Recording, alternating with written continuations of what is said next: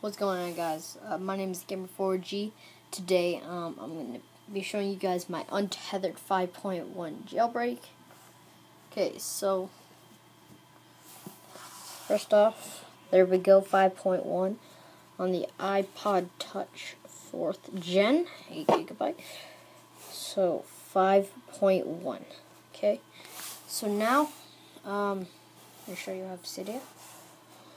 As you can see, I have that, so obviously Cydia, but I have Cydia, it's working.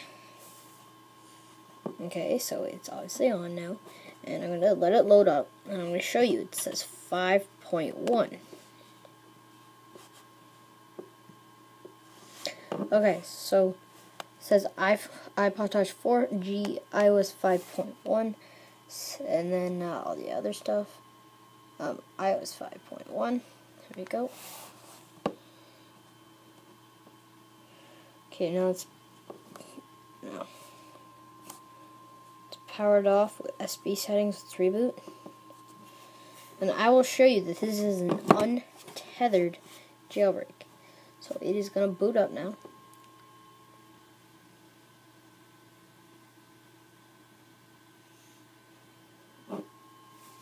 And it's going to boot up properly and this is no semi-untethered, nothing like that.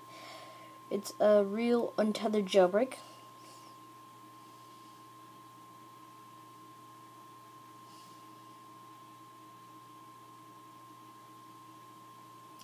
You might want to fast forward it, um, because this, or just wait. You should just wait. I'm not going to skip anything because I, I don't want, I want to show you guys this is a real untethered jailbreak.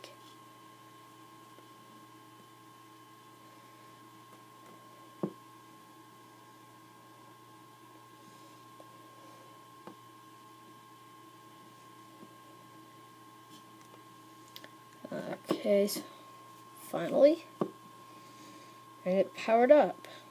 Okay, so now I'm gonna load up Cydia. Okay, so Cydia, it works.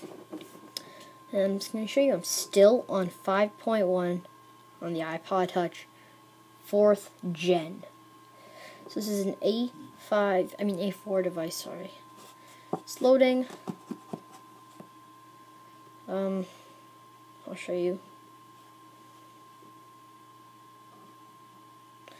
5.1. Mm-hmm. Yes, so that was 5.1. Um, until the jailbreak. So, I'll see you guys in the next video.